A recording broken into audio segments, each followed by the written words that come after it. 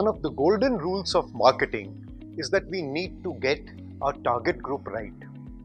Getting the target group right means getting a good idea of who is going to be using your product. However, what is happening at the moment is that we are again falling into a trap of jargons and the word millennial is being used for almost everything. Nothing wrong in that. I have nothing against using the word millennials except let's not use it to describe anything and everything and in the meantime also forget that there are other potential lucrative segments available. Let's look at a bit of a numbers. Yes, millennials are supposed to be around 440 450 million in India. Yes, uh, Gen X, which is the youngsters of today, is fast approaching 400 million. But let's look at some other some other segments which can be lucrative for many a marketeers.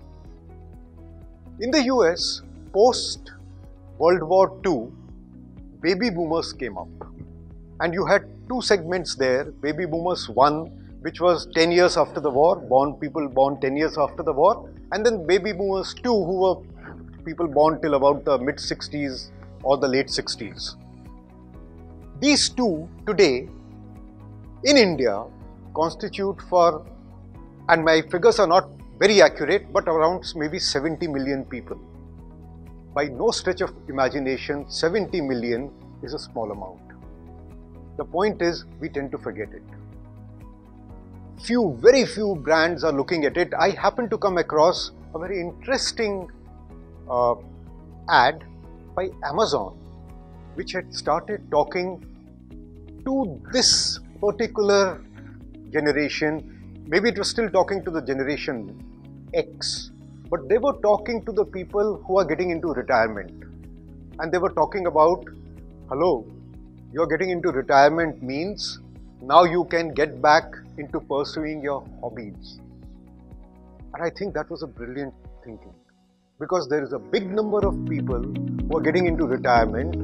You don't want to sell them soaps, you don't want to sell them uh, clothes, you don't want to sell them fashion or music, so be it. But you do want to sell them something which is very close to them, what they want to do after retirement Carvaan music from HMV. What is that? Nostalgia with old songs. Something just right to gift my parents. Something, something just right for the parents to buy themselves. My point being that at the end of the day, everything is not talking to the millennial. They may be big, they may have the money, but you have the baby boomers, post baby boomers, who have the money, who have the time, who have the inclination, who have some habits. Why don't we talk to them?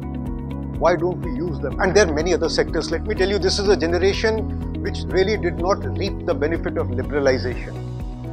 Medical, health, post retirement, all these areas are something which will be attractive to them why don't we as marketeers start looking at them also? Why this obsession with the?